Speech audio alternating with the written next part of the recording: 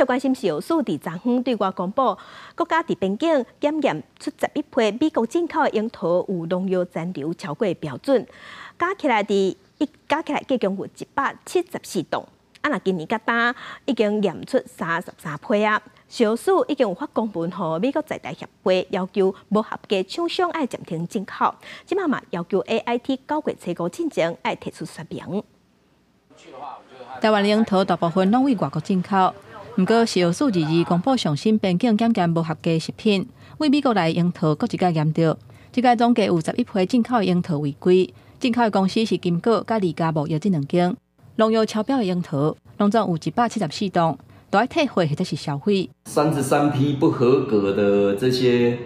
呃产品，都是来自于这四个制造商。对于这四个制造商啊，暂停受理输入查验的申请一个月。为了把关进口食品的安全，小数针对美国违规的樱桃提出三大反制措施，除了四间违规的制造商暂停进口一个月，而且发文和美国在台协会两解。按规定，爱伫九月初五进前提出说明，嘛同步发文予国内所有进出口的工会，会进口入来台湾的产品，拢爱符合国内法规。会后是由数遮尔大动作提出反制，都是因为美国樱桃边境查验的结果，相接出现违规的情形，而且阁毋改善。